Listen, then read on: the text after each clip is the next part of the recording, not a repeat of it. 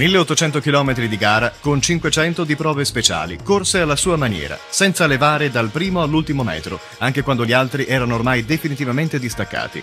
500 km corsi tutti a testa bassa, senza mai guardarsi alle spalle, con l'unico intento di cancellare l'ennesimo anno ricco di delusioni e di occasioni buttate al vento. Ad un anno esatto dalla prima e fino a ieri unica vittoria in un rally mondiale, Colin McCree si è ripetuto vincendo nuovamente il rally della Nuova Zelanda, settimo appuntamento del campionato mondiale rally. Lo scozzese, conquistando il gradino più alto del podio, ma soprattutto infliggendo distacchi abissali a tutti gli altri in gara, ha per il momento messo a tacere il coro dei suoi detrattori, un coro pronto comunque a riprendere fiato se il portacolori della Subaru non si dovesse ripetere a breve.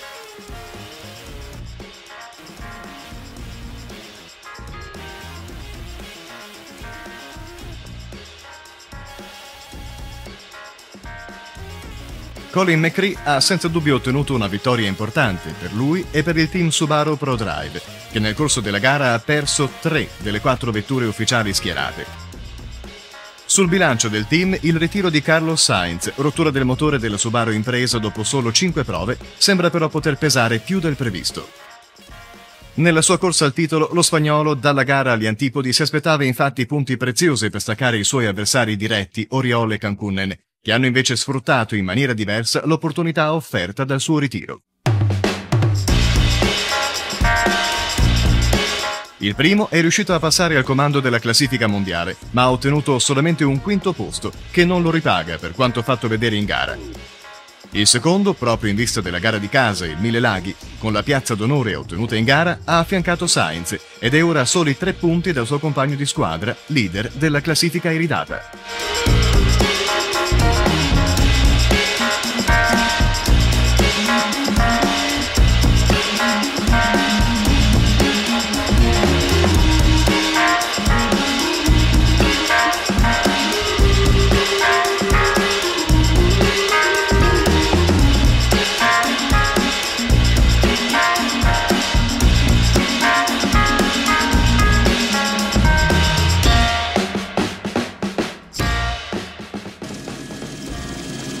Sono 78 gli equipaggi al via della prima tappa da Auckland a Rotorua. Le prime 11 prove fanno già classifica in una giornata ricca di colpi di scena.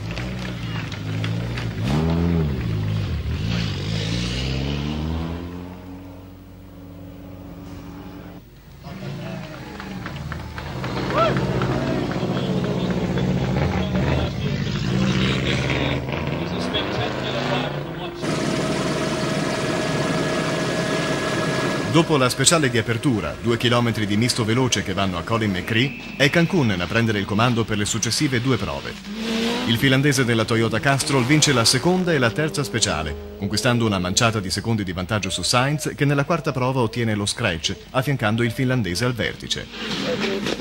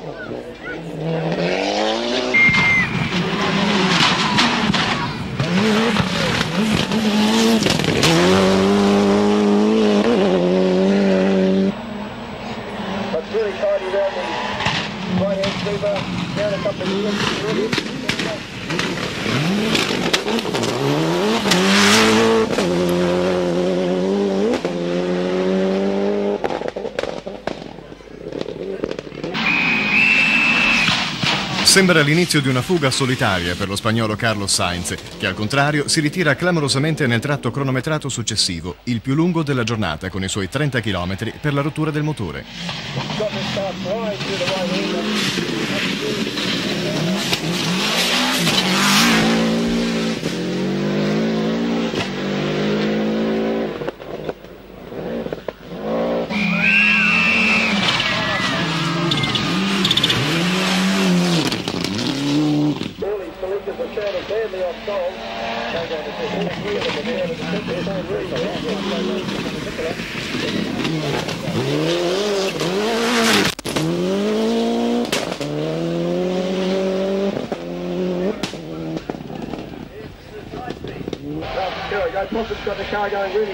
Il colpo per il team ProDrive è di quelli pesanti e viene solamente in parte attutito dalla grande gara di Colin McCree che inizia la sua decisiva fuga.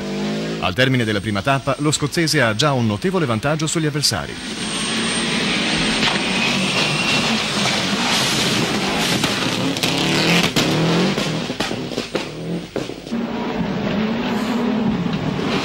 Cancunnen è secondo a 44 secondi dal leader, mentre il compagno di squadra Oriol è terzo a 51 secondi. Un distacco abissale da addebitarsi in gran parte alla differente resa dei pneumatici, con i Pirelli della Subaru dimostratisi nettamente superiori a quelli della concorrenza.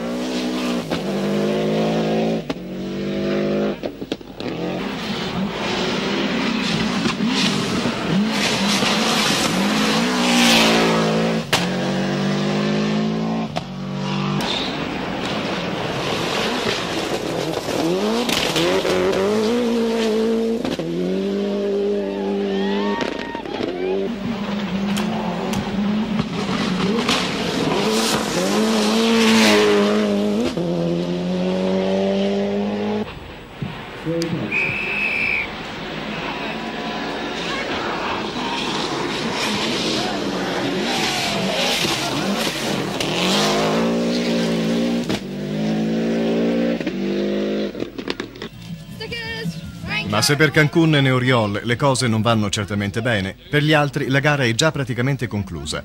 Vatanen, primo delle Ford, è quarto, ma con un distacco di 1 minuto e 49.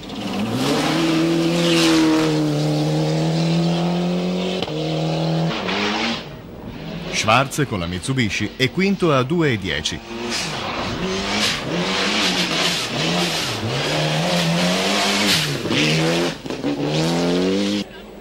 Mentre Biasion è solamente sesto, a 2 minuti e 35. Per le Ford i tratti veloci si rivelano un inferno, con la berlinetta preparata in Borham che viene penalizzata pesantemente dal notevole gap di potenza nei confronti delle avversarie.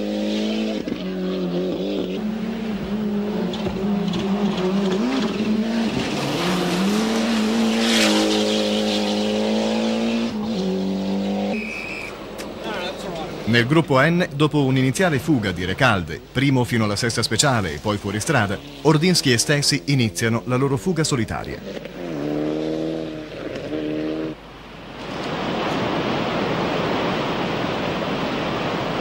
Sono in molti a considerare decisiva la seconda tappa del rally, con i suoi 250 km di prove speciali, pari al 50% del chilometraggio totale dei tratti cronometrati dell'intera gara. Infatti, come nelle previsioni, la tappa si rivela fondamentale ai fini della costruzione della classifica definitiva. Chi si aspettava un contrattacco dello squadrone Toyota Castrol viene subito contraddetto dai fatti.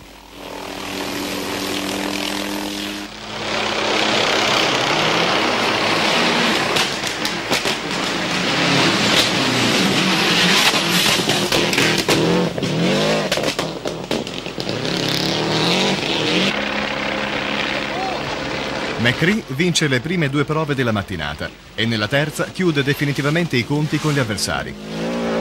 Nei 45 km della prova di Motu, lo scozzese rifila 25 secondi ad Oriol ed un minuto secco a Cancunnen.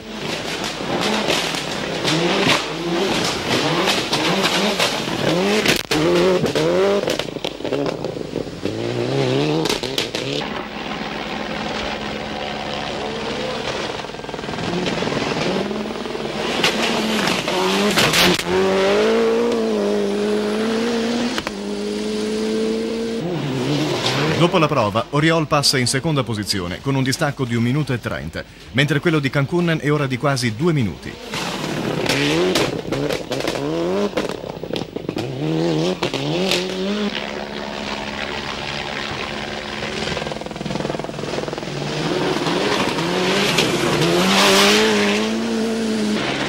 All'appello manca anche Biasion, fermo per la rottura del motore della Ford Escort. Per il campione veneto un'altra trasferta da dimenticare, in un'annata che sembrava dovergli riservare tante buone sorprese e che si sta rivelando un fallimento. Nella prova successiva, Vatanen, al quale spetta ora tutto il peso della trasferta Ford in Nuova Zelanda, esce di strada, perdendo quasi due minuti.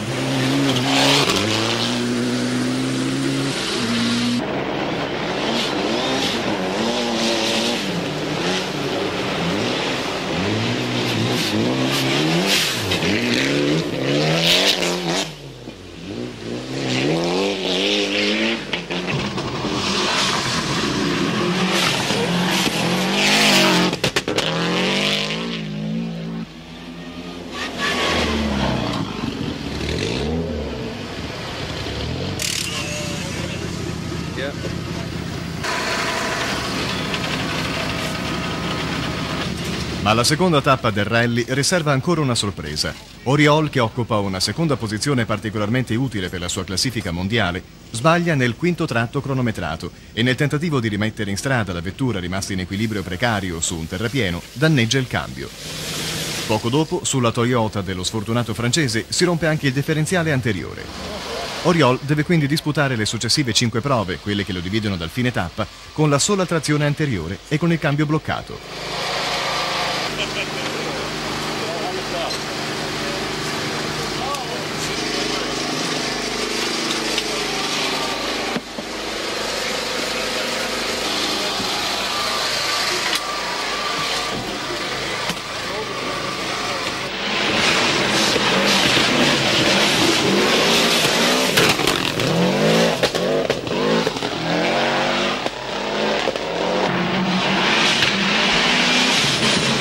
classifica al rientro a Rotorua è ormai completamente definita. In testa Colin McCree guida con 2 minuti e 09 di vantaggio su Cancunnen,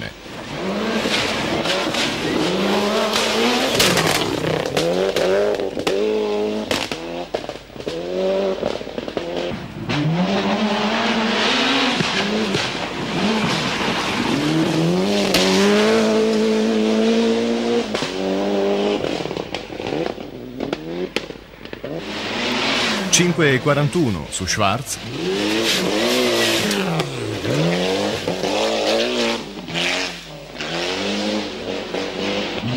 e 6 minuti e 15 sullo scatenato Vatanen, che dopo l'uscita di strada infila ben tre scratch consecutivi.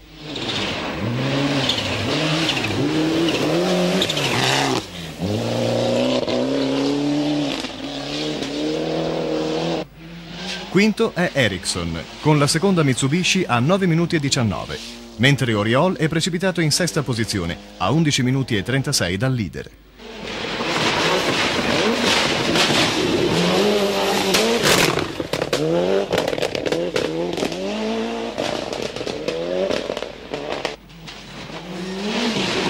La lista dei ritirati si fa intanto importante con Burns, Subaru Impresa, che per un'uscita di strada va a fare compagnia ai già ritirati compagni di squadra Sainz e Bourne.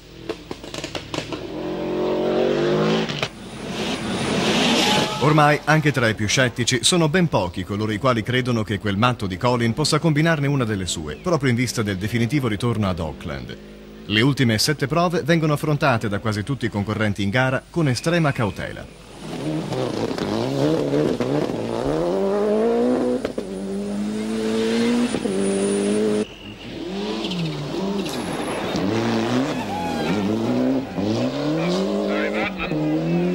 Tra i primi si assiste solamente all'ultimo disperato tentativo di Vatanen di acciuffare la terza posizione tenuta da Schwarz.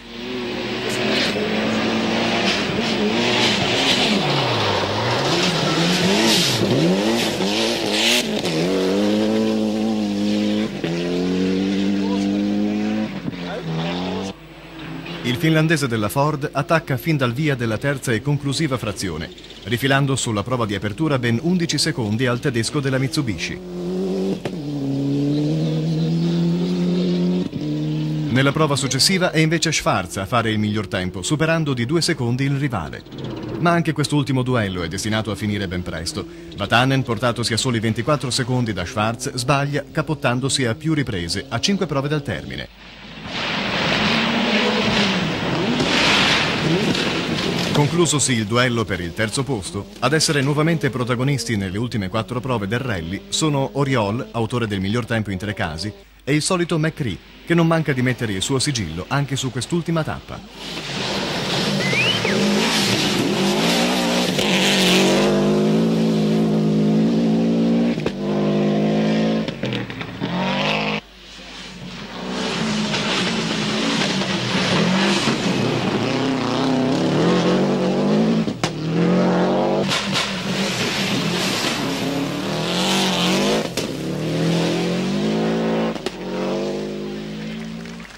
All'arrivo di Auckland, dove per il secondo anno consecutivo McCree festeggia la vittoria, i distacchi parlano chiarissimo.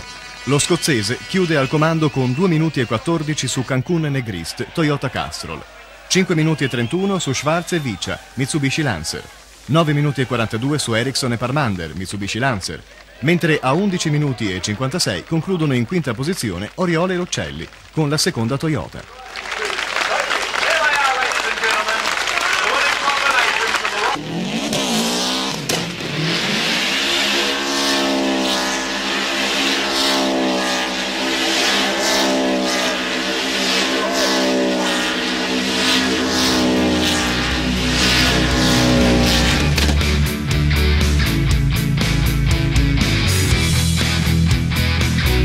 I problemi tecnici della Toyota Castrol di Oriol, il secondo posto ottenuto dal tenace Cancunnen, il ritiro di Carlos Sainz tradito dal motore della sua Subaru impresa e la vittoria di Colin McCree. Questi i motivi principali di una corsa che ha reso ancora più avvincente la caccia al titolo iridato piloti e anche quella al titolo costruttori. Nel mondiale piloti, a tre prove dal termine, tre piloti divisi solamente da tre punti hanno ancora identiche chance per conquistare un titolo iridato destinato ad essere tra i più combattuti degli ultimi anni.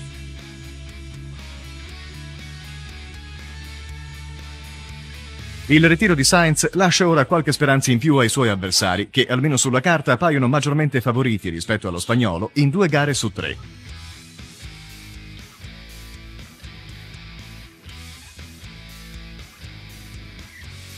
Ma il risultato del Nuova Zelanda ha anche riaperto il mondiale Marche con una Subaru che, anche grazie ai pneumatici Pirelli, si è avvicinata in maniera decisa alla Toyota. Lo squadrone nippo-tedesco, con il risicato margine di vantaggio a disposizione, non può certamente dormire sonni tranquilli. Con un Colin McCree in forma smagliante e con tanta voglia di provare ad essere un pilota vincente anche fuori dalla Nuova Zelanda, la Subaru Pro Drive ha in almeno due gare, il conclusivo Rack e anche il Sanremo, un pilota che può puntare a sconvolgere i piani degli avversari. Tutto è quindi ancora da giocare, sia nel Mondiale Piloti, sia in quello Marche, sia nella Coppa FIA Gruppo N, dove pur a Sere Calde, presenti in Nuova Zelanda, non sono andati a punti, finendo la gara prestissimo entrambi per un'uscita di strada. Il mondiale riparte quindi dalla Nuova Zelanda con tanta incertezza in più e con la speranza che il grande Colin McCree visto in corsa sia l'ultima evoluzione di un personaggio sicuramente di grandissimo talento e di grande coraggio, ma ancora incapace di consacrarsi tra i miti assoluti del rally.